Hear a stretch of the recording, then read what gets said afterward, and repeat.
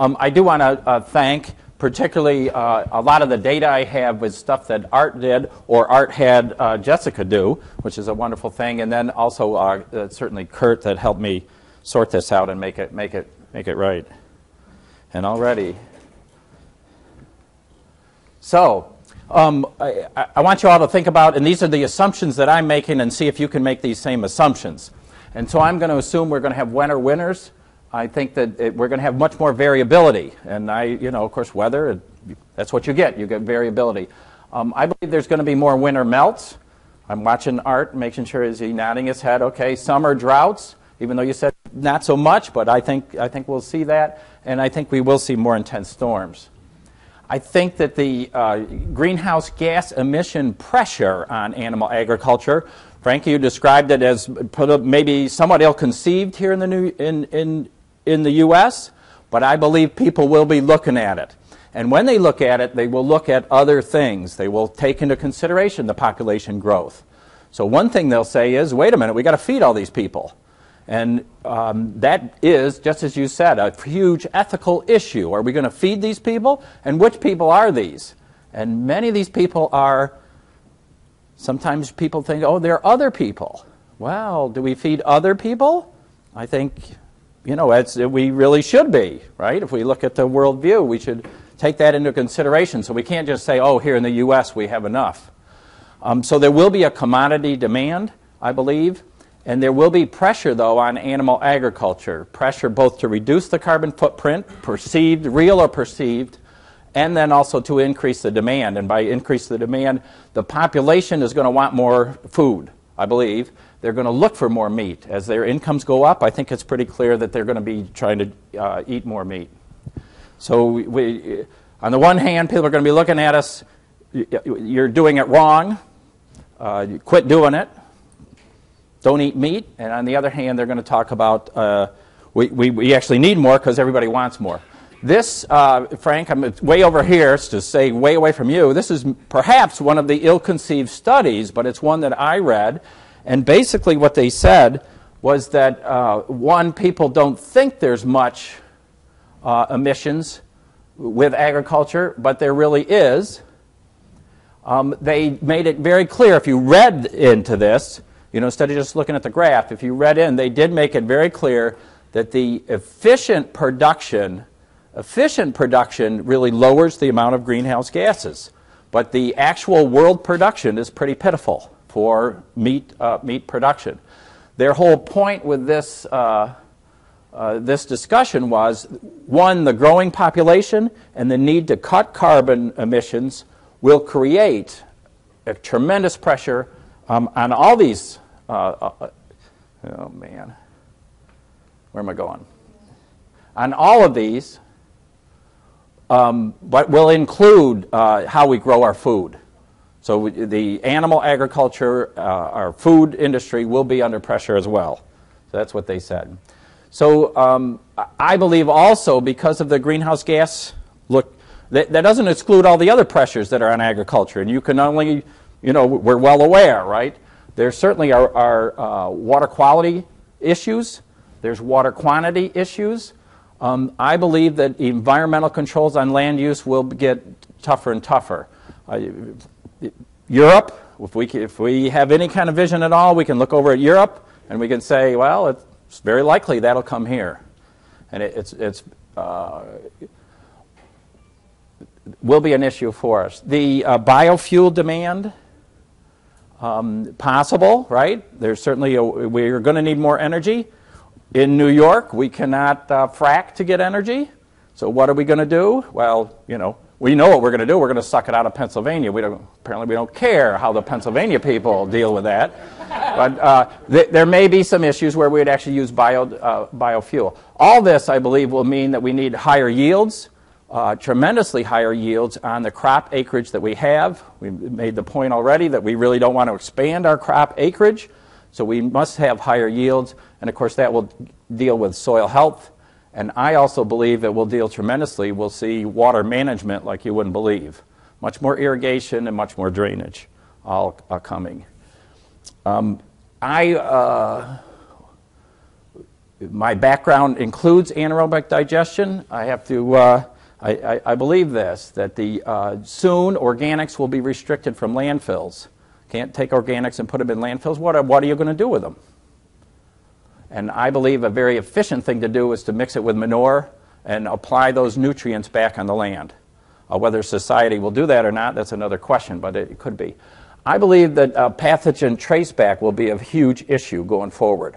If you look around and we said food safety, our food today here is the safest it's ever been, but that's not enough. We demand ultimate food safety, and they're doing tracebacks and they're finding the people that are responsible and they're making them pay. Companies are going out of business, and people are actually going to jail because of we've traced it back to you and your farm and your, your company. So that'll become a bigger issue. Um, I believe that we eventually will have to uh, pre treat our manure before we apply it, and anaerobic digestion is a wonderful precursor to pre treatment. And of course, it's the double green uh, greenhouse gas reduction because it reduces the amount of methane, but it also uh, decreases the amount of power that that farm would need. So I, I believe that if we looked at it seriously, we would be supporting anaerobic digestion as we think about the greenhouse gas. Um, I want to look at the short term impacts and pay most attention to them because these are the ones that happen earliest. I have learned that, you know, perhaps the best way to do a speech is to only do uh, future predictions way out there. And so I appreciate, Art, how you, you know, here in 2070, and by 2070, well, we will have probably forgotten what you might have said, and you can, uh, it, it, may come true, and we, oh yeah, but it, it won't matter. That's why do climate and not weather. Uh, excellent. Yep. So, but for short term, I believe that uh, one, there's going to be more and more restrictions on winter spreading. Um, I believe that eventually people are going to figure out that fall spreading isn't the brightest idea. And I believe that uh, we've already seen that weather variability is going to hit us, and that's going to be a real problem. So I believe we're going to end up with more covered storages, and those covered storages then will need a solid separation in order to make those work good. And I think we're going to end up with more summer spreading, um, I possibly double cropping because it got a little warmer, or we got some species that work better that way. And then, of course, more water management. And water management will have impacts on water quality. And we're here talking about greenhouse gases, but there's a whole lot of effort and emphasis on water quality that will not decline. And in fact, the more we think about greenhouse gases, the more we'll think about better water quality. Um, here's the long term impacts. Um, I believe there will be treatment systems that deal with all the manure, that you won't just be putting raw manure out on the land. Um, I think uh, also there's going to be a huge need for agricultural professionals. Huge need. And I don't see where they're coming from. I don't see it happening. And if we don't have the science that's behind this, we'll end up with policy that may or may not be what we think it ought to be. So we really have to look hard at that. Um, we've, uh, Frank, you've already mentioned the redefinition of sustainable. I think people have to understand that um, we, sustainable means we feed people. Sustainable means that we actually intensify production on the land that we have and do a better and better job of it. I'm not saying what we're doing is perfect, but I think we, uh, we have to define sustainable as different than um, 1950s technology or even oh, organic farming. I think that's not sustainable, in my opinion, which includes, uh, you know, why don't we improve our crops? Genetically modified organisms. I believe this is just nuts not to think of Im- making improvements on, on what we want to grow and eat. And that means technology. And of course, I think there will be big issues with insects and weeds uh, going forward. So now let's just talk about storage issues. And when you talk about storage, you need to deal with the management, the design, and then deal with climate change on them. Uh, those of you familiar with this, there's certain percentages that go into this. When you design a manure storage, you've got to put certain volumes in certain places. One of which is, of course, is the precipitation, both the large storms and then the normal precipitation. And of course, we always think that farms do ideal management. And uh, you can read what that is, and we all appreciate ideal management, especially when we're designing it and thinking that that's how it's going to be. And who wouldn't be delighted in having a manure storage uh, surrounded by greenery? This is just wonderful. We can do this, uh, uh maybe an earthen one. and uh, having the facility to spread it when we need to spread it. And if you count there, there's at least nine operations there. They're going to empty that manure storage very quickly and get it on the land. Uh, however, we have actual management. And so the size of the manure storage are based on affordability. Um, they aren't emptied when, they, uh, when it comes up. The uh, solids build up, or they didn't pump it down completely when they go into the winter season. The drainage area is increased. We have diversions to keep drainage out and we don't maintain that, and so we end up with more water coming in. And of course, the manure production increases. You go to every farm, and they either have more cows or they have increased production. And what a surprise when you increase your milk production, you increase your manure production. And it's, it, yeah. Um, so this makes people nervous when they have a manure storage and it gets close to the top. It's, you know, what are we going to do? Um, sometimes we let it do that, we let it do that, and we have it happen. Or we go out and we have to spread at inopportune times. Um, not so good, maybe an issue. Uh, we get equipment then that's going to work no matter when we uh, want it to go. You know, this will work wonderful. Oh, we can't even drive with the injectors in the ground, so we'll just dump it down here into the uh, tracks of the equipment and watch it flow down the hill into a waterway. Um, having said all that, uh, Carl, I want to make the point of uh, frost injection. If We freeze the ground a couple inches, and uh, below that is very dry soil because it's, uh, it's, it's come up to form the freezing thing. We inject it. Uh, that is a wonderful way to apply manure. So I don't want to say never ever put manure out in the wintertime. I think this is actually a very useful way. It may not, though, be a, a way you can count on, but you have to be ready to manage that. So um, people think about manure storages. You have to adapt the design for more, more water. Uh, some people just say, well, give me an extra month. Some people say uh, two times the 25 year storm, we'll have extra freeboard. Some people say, well, we'll do the 10% production increase. Some people do all three. Um, we said uh, we want to do something a little bit uh, more scientific. We do believe that there will be more severe storms, and we do believe that there will be more total precipita- precipitation, especially in the wintertime. Um, we did a study, Art, actually, Art did a study, and we took advantage of it, um, where we, we did pay for it, yes. Uh, but we feel like we got our money's worth. So it's all, all a good thing. Um, anyways, we ended up with different uh, rainfall amounts.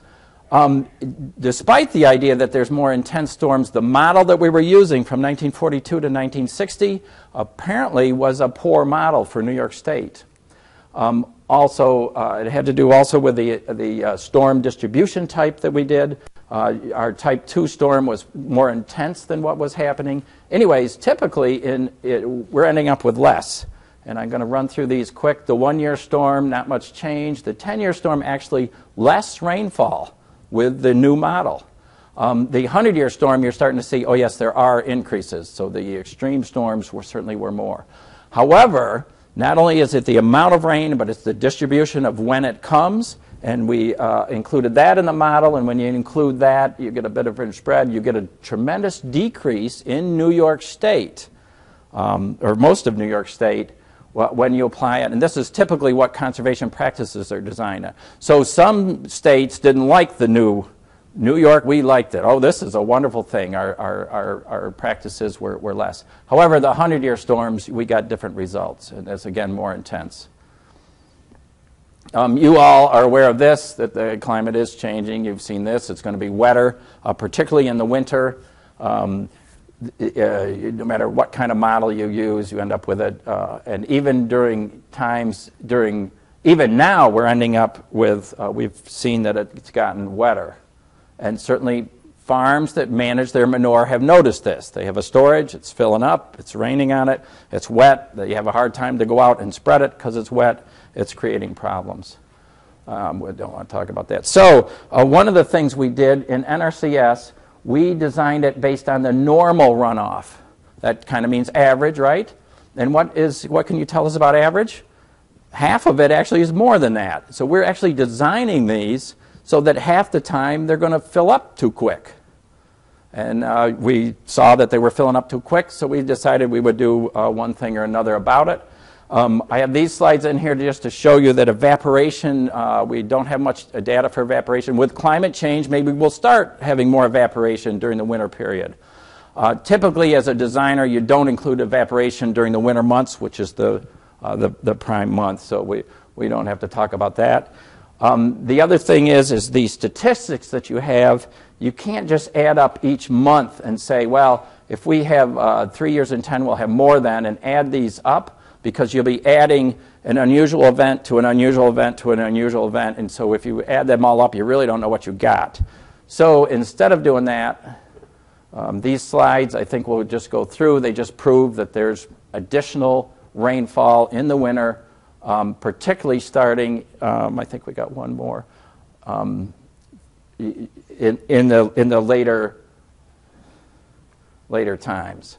So, uh, this is what uh, the Northeast Regional Climate came up with. And what we're doing here is we're saying that 90% of the time you will have less than this rainfall amount. So now when we design a storage in New York State with NRCS, you uh, get the figures off of this, and 90% of the time you won't have more rain than that. But still, there's 10% of the time you will have more rain than that, so you still have to manage it, but at least we're not using the averages. So we did it through an October and May period. We also did it through a November and April uh, period. And so instead of, again, using average amounts, we're actually using that, which increase, increases the storage um, which also, though, increases the cost, right? We're storing more, and so there are cost increases. And you can see that um, at the six month storage, uh, these, the slope of these are, so this is a actual structure, either concrete or steel, and there's the storage difference between 14.7, which was the average, or 19 inches, which was the 90% value. And so, uh, using our figures, uh, it's about $500 difference in cost, but you're doing better. That's a good way to get through this fast. I don't know. See, I'm not even sure if I did that. I think, you know, it's probably what they did. While he's doing that, I have to tell you, you know, I think a lot of this actually is driven by uh, people with a different agenda, and they, their agenda is don't eat meat. And uh, in true honesty, um, I have a brother who not only is a vegetarian, he's a rawtarian. A rawtarian is you're a vegetarian, but you don't cook anything. And uh, he, him, him, and his family did that for, for a number of years. Um, there's also, of course, then those that are fruitarians. And fruitarians, you don't hurt the plant either. You just take what drops. So this would be berries and nuts, you know, what would, what would come off. And so you can go there. Then, of course, you're aware of the aromatarians. They, they just, you get your nutrient by smelling. Not too many of those.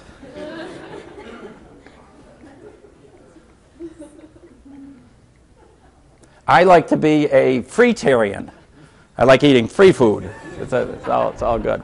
Okay, so up in Jefferson County, um, Jefferson County, Doug, you, yep, uh, it's, they get a lot more rain. And so uh, 19.6 was the average, but 27 is the 90%.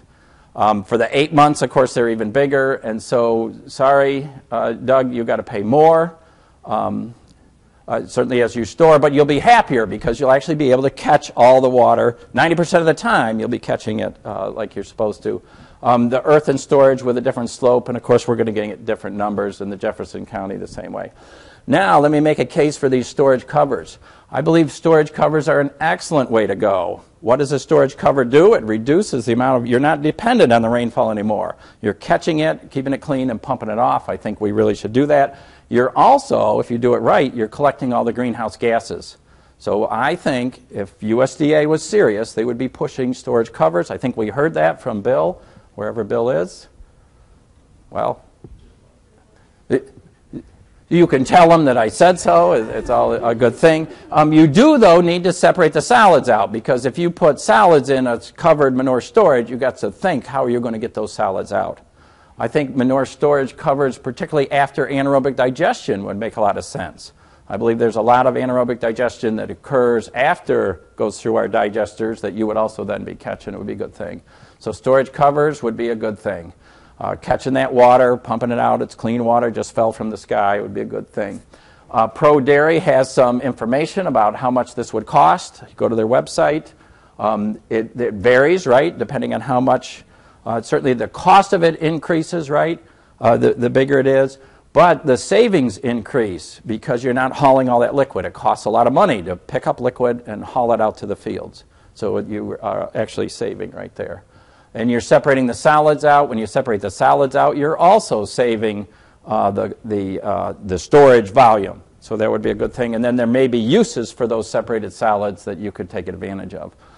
I believe we're going to be pushing more and more towards summer spreading.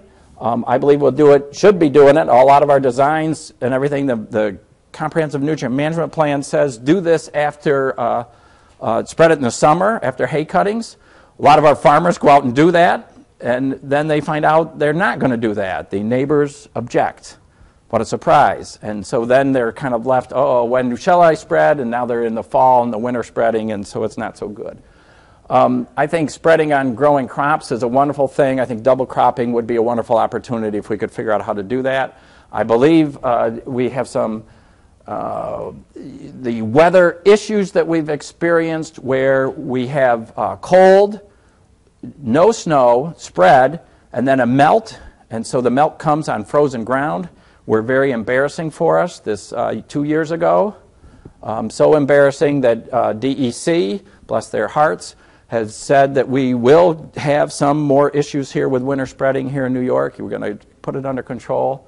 And you can only imagine, you see the temperatures there, and then the rainfall event hits, and it really, it, it, it did look bad. Our last winter was really tough, and in that winter we had concrete frost to significant depth.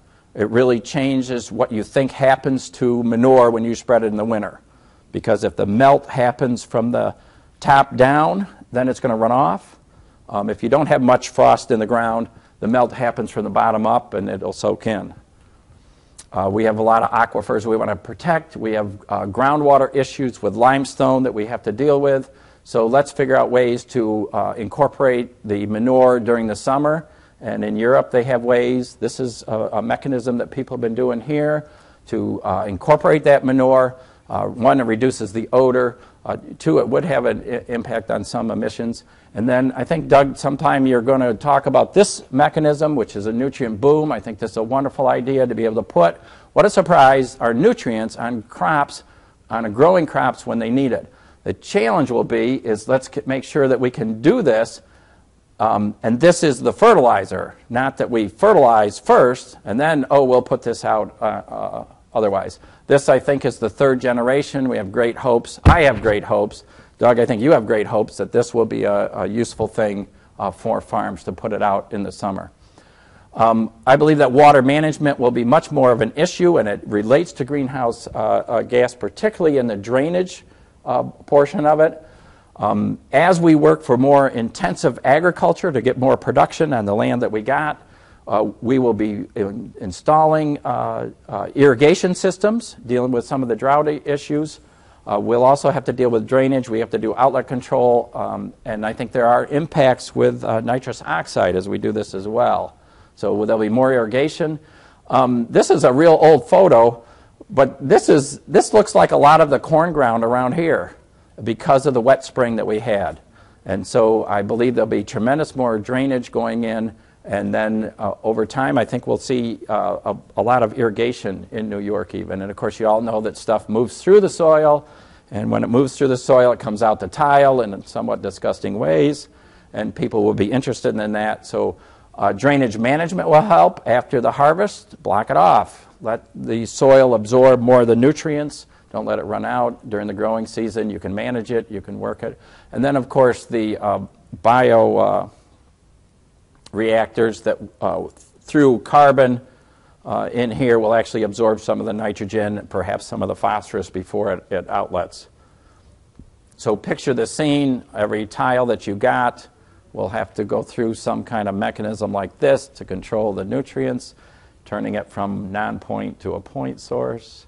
But uh, I think if, we're, if we really want to improve, and think of the, uh, all the stuff that goes down the Mississippi and uh, Erie. Who's here from Ohio?